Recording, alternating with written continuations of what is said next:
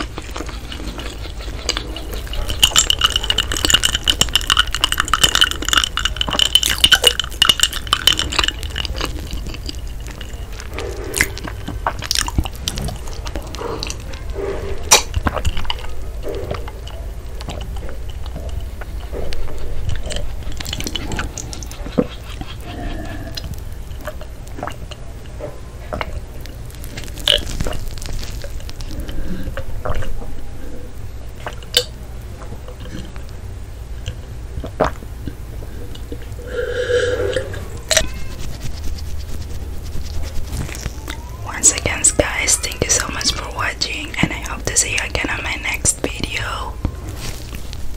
I love you guys. See you again.